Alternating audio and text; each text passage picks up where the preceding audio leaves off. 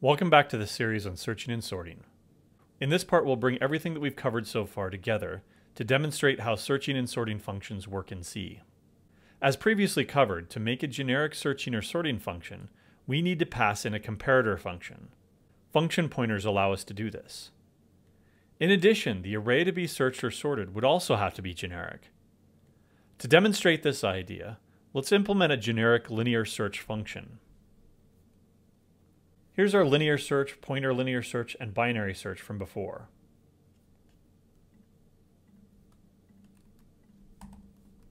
Let me make a new version of linear search. It's no longer going to take an array of integers, because we want to make it generic. However, it's no longer going to be able to use that equals equals operator, because they're not necessarily integers anymore.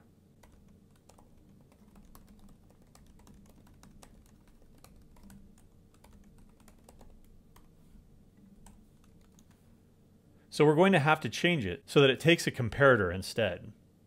We're going to have to change several things here. First of all, it's no longer going to take an integer array. Instead, it takes a void array. A void pointer can point to any type of variable, integers, doubles, or anything else like that. In addition, our key is going to have to be generic. We'll still need n to determine how many elements are in the actual array. But in addition to that, we need yet another parameter.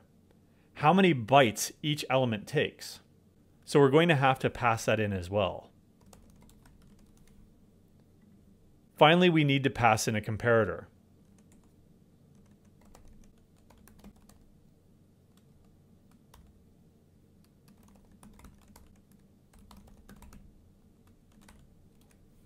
We still have the same basic for loop, but we're no longer comparing integers, so we can't use the equals equals sign anymore. Instead, we need to call that comparator on the key, k, and the individual element in the array, the ith element in the array. We'll come back to how to do that in a second. If they're equal, the comparator will return 0 in which case we've found a match and will return i, the index at which we found it. Now the comparator requires that we pass in two const void pointers. The key k is already a const void pointer, so we simply pass it in. But how do we pass in the ith element? For this, we need to do a little bit of pointer arithmetic. Normally, we would do something like the following. ARR sub i gives us the ith value, but we would need to change it into a pointer in order to pass it in. This isn't going to work. When we index something, generally the compiler knows how large they are. If we index an array of doubles, it knows that each double is located in 8 byte increments. So giving the 10th element at index 9 means that it would have to offset 9 times 8 or 72 bytes away from the beginning of the array. Since these are void elements, we have to do the arithmetic ourselves. We need to pass in a memory address. The array starts at ARR. We need to go over so many bytes to get the ith element.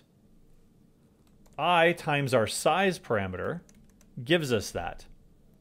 If this is a character array, then size will be 1 because each character requires 1 byte. So it would be straightforward, 1 byte, 2 bytes, 3 bytes, etc. Offset from the beginning of the array. But if this is a bunch of integers, then each one would be 4 bytes.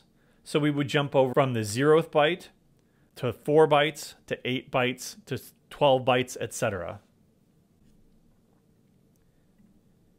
Here I've got an integer array. I'll call my generic linear search function, but I need to pass in the appropriate elements. I'll pass in ARR and the size of the array. There are eight elements in there. But each element is an integer. The number of bytes that each integer takes can be found using the size of macro, just like we did with malloc. Our key that we're searching for is 10, the last element. I could pass this in directly, but that would be passing it in by value, meaning that the value 10 would be used as a memory address, and that probably doesn't belong to us, so it'd be a segmentation fault. I need to pass in the memory address of k. And finally, we need an integer comparator. We wrote one before. I'll bring it in as you, and use it as part of this demo. Now to pass in that comparator, I simply pass in the function name. This generic linear search function doesn't have any idea what's stored in the array, what type its key is, or what the comparator is actually doing. And it doesn't need to know any of that stuff. It only needs to know how to access its elements and pass them on to the comparator. When it hits zero, it knows that it's found the element and returns the index. Let's run it.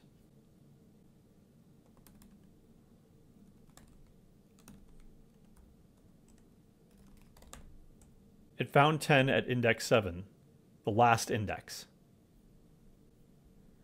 Now to demonstrate the true power of this, let's create another array of different elements.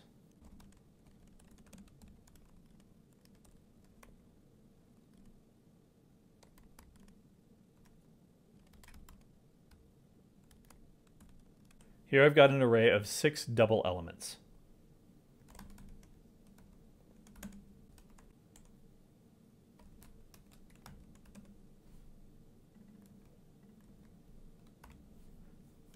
I'm using the exact same generic linear search function to search through this array of different elements. I pass in foo, and there are six elements in this array. And each one is a double, so it takes size of double bytes each. Pass in the key, and now we'll need a different comparator. This comparator is for integers only.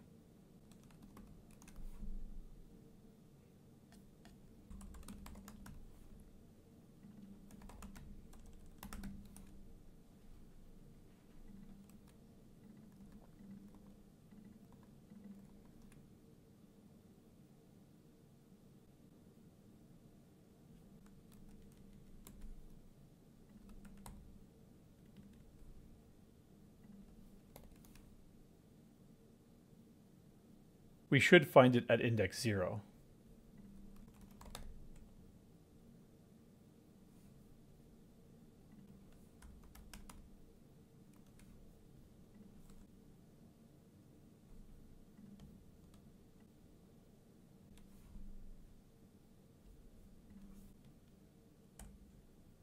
Even unsuccessful searches will work. This is the true power of generic programming writing one solution that will work on any type. All you need to do is write a comparator for that particular type and your particular search criteria. So in practice, we don't write our own searching and sorting functions. C already provides both in the standard library. In particular, it provides QSort, a generic sorting algorithm. As the name implies, historically it's been an implementation of Quicksort. It's not necessarily the case that it has to be an implementation of Quicksort. QSort takes four arguments. The first argument is the array of elements that you want sorted. It's passed by reference like other arrays, but it's a generic void pointer so that it can be applied to any type of data. NEL is short for the number of elements in the array. Like all of our array functions, we have to communicate to the function how big the array is. The third argument is the size of each element, when QSort swaps two elements, it needs to know how many bytes that it actually needs to swap. If it's sorting an array of integers, it'll have to swap 4 bytes. If it's an array of doubles, it'll have to swap 8, etc. Again, typically you use the size of macro for this argument. Finally, the last argument is the comparator function that you want QSort to order the elements by. Let's take a look at a quick demonstration. Here's that searching and sorting demo from a previous part. I've created four students here so that we can have a test array to work with. I'll use this function to print out the roster, which is in the following order. Bourke, Borg, Lovelace, and Turing. Let's go ahead and call QSort to sort them by our names. First, we pass in the array. Then we pass in the number of elements. In this case, I've got a variable to hold that n. Now, how big is each element? Each element is a student, so I'll use size of student to determine how, many bytes each record takes. Finally, I pass in the comparator that I want to use. If I want to do it by name, I'll use the CMP student by name comparator that we developed before. To make sure it works, let's print them out again.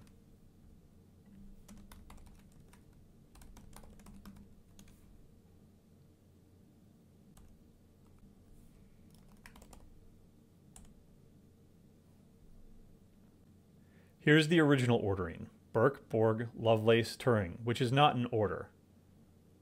Once it's sorted, we've got Borg, Bourke, Lovelace, and Turing, which is in order. To demonstrate how we might sort it in a different order, let's go ahead and sort it by NUID. The only difference is the comparator that we use.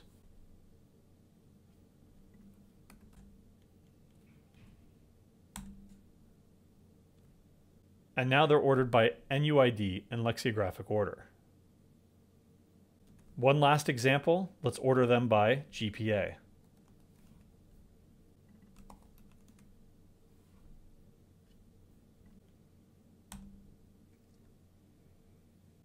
And now they're ordered by GPA in descending order, just like we designed our comparator to do. C provides several search functions as well, there are a couple of linear search functions already built in, but I'll let you RTM to find out about those.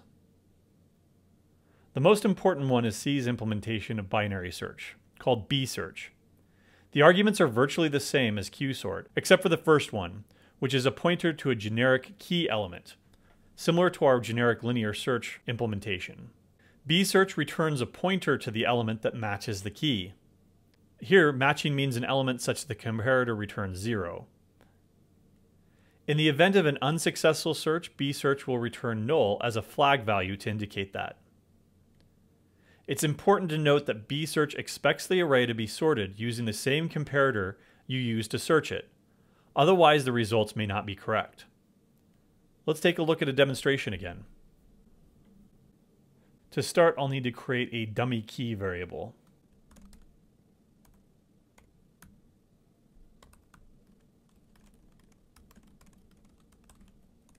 All this is doing is special syntax to create a student structure whose NUID is given with dummy default values for the rest of the elements.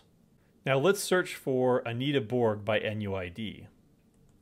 To do this, we need to ensure that the array is sorted by NUID, otherwise bsearch will not work.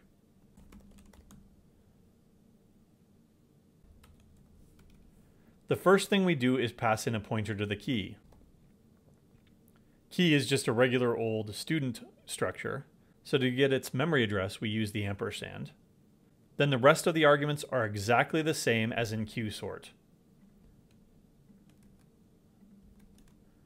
We pass in the we pass in the array, the number of elements in the array, how big each element is in bytes, and the comparator that we want to use to search for a match.